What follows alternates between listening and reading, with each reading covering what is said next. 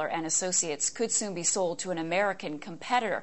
The deal, which needs federal approval, would leave a sophisticated radar system in foreign hands. And as CTV's Craig Oliver reports, there are concerns this is a sale that the government will one day regret. Welcome back. In Zimbabwe, there are growing reports of a police crackdown. A top opposition party official says police have raided party offices and ransacked other rooms used by the party at a hotel.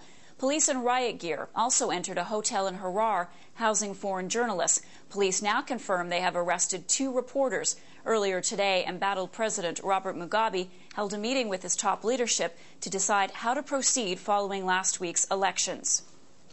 Harry Sterling is a former diplomat who served twice in Africa and is an Ottawa America's struggling airline industry now has another casualty. This morning, the discount carrier ATA Airlines declared bankruptcy and canceled all of its flights. And as Wendy Birch reports, thousands of passengers across the country are now paying the price. It's the home of the United Nations headquarters, and these days, New York City is becoming an international showcase for home buyers. With a low U.S. dollar, the strong euro is prompting more and more people from across the Atlantic to take a long, hard look at Manhattan. Richard Roth has the story. Coming up, it was supposed to be a routine ride to the hospital. Now the